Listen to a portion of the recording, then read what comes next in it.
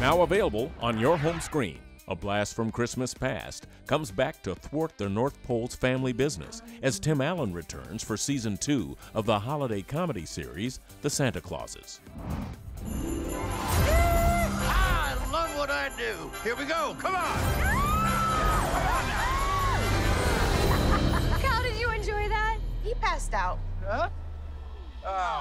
The idea that Santa is a mantle that can be passed and not just a singular person is the central idea of the franchise established by the movies. It's what he'd love to be is keep it in the family. That's the the idea is that maybe maybe my son or my daughter that it would pass it on to my son if that's what something he'd want to do. Checking it twice. Which is why I'm so geeked to turn Santa into a family business. There's not a full agreement that that uh, Cal will be the perfect idea. I really believe that my son, Cal, has what it takes to be the next Santa.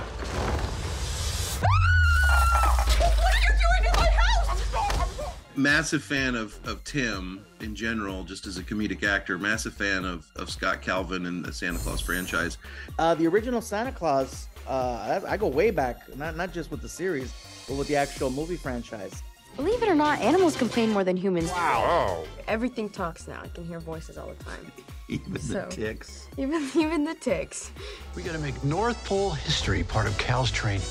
That central idea is so rich because it suggests a whole history of Santas that have reigned over the North Pole. Who's Magnus Antas? The Mad Santa. Is that something for us to worry about? Betty mentions in the first season the darkest time in North Pole history, and that was the reign of the Mad Santa.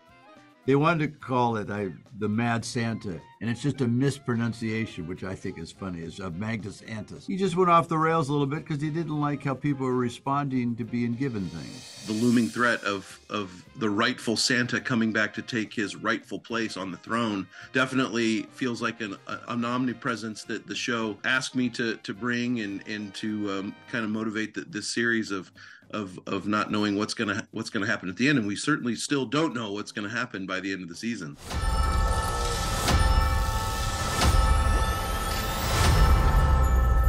Santa? I am Santa. The rightful Santa. He manages to find a way to resurface. He's he's conjured because of an accident, and and my character uh, is the first to discover him. Is, is the rest of the world like this now? Well, if it was, I wouldn't have to build this place, now would I? And that's why you should always follow your dreams, no matter what your dad says. Chris Kringle Moreno, that would be me, uh, but a little bit cuter because I'm wearing a bunch of red and green, and I, I'm very festive. And I'm the owner of a Santa Claus store slash museum. How about some sleight of hand? At least it's not improv. I have a, a, a kinship with comedians anyway. That we're a very small group, so it was it was fabulous. On top of that, he drilled his character. He's so He's funny. so funny He's in this, just and he's so good in this. Yeah. Really was brilliant. So the, on top of everything else, once again, another comic comes in and drills the part. Tim Allen's an actual comedian, so it's like to hang out with another comic on be on a set. It was it was great. It's a nice belly, but that's not a Santa belly. This is a Santa belly.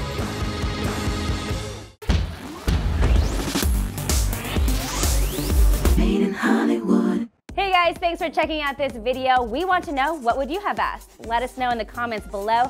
And if you liked this video, don't forget to hit the like button. And as always, for more videos like this, hit the MIH TV logo right here. And for the next awesome video, click right there.